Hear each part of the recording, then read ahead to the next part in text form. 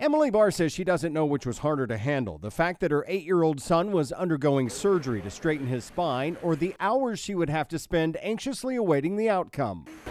But thanks to a new app used by nurses in the OR, Emily didn't have to wait for updates at all. Several times during surgery, nurses sent photos and text messages and even short videos, letting Emily and her husband know exactly what was happening. I was excited about it. I looked forward to it. I, you know, my thing was send me the information as soon as you can. In doing so, Emily says doctors and nurses put her mind at ease. In fact, it's called the EASE app, which stands for Electronic Access to Surgical Events.